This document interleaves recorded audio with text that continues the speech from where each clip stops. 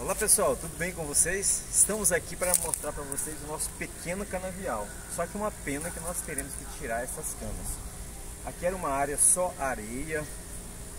Né? A gente vinha a cada três meses limpar aqui na unidade de saúde um pátio.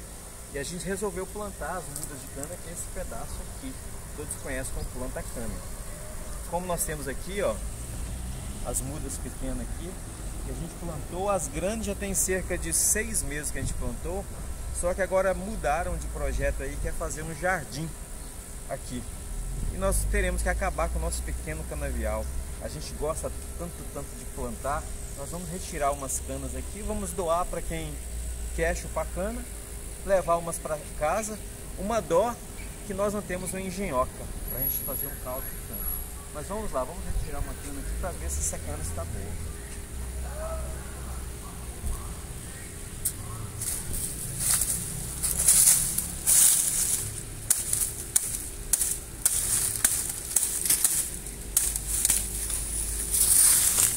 E a cana caiana, pessoal, aquela cana macia, boa para chupar.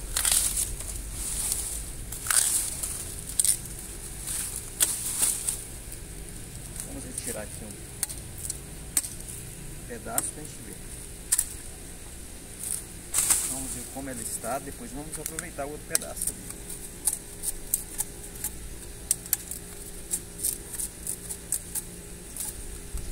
Uma dó, pessoal. A gente não tem terreno e aonde tem terreno não pode plantar, né? Quantos gostariam de chupar um pedaço dessa cana?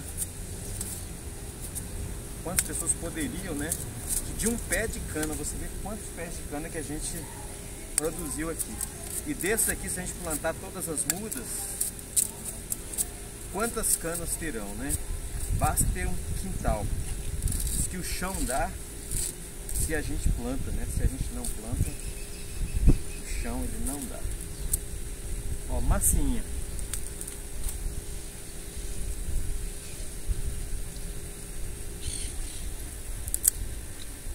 Gente, tá docinha, docinha essa cana.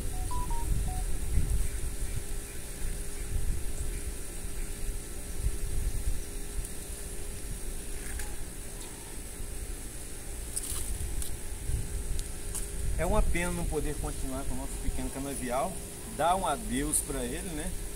Porque pediram para retirar, fazer o quê? Diz que manda quem pode e obedece quem? Quem tem juízo, né, gentil? Pessoal, um abraço a todos. É o nosso pequeno vídeo de hoje, mostrando, né, o nosso pequeno canavial aí. Infelizmente, teremos que terminar com essas belíssimas plantações de cana. Ela gosta de um solo arenoso, está docinha e macia a nossa cana. Ok, pessoal?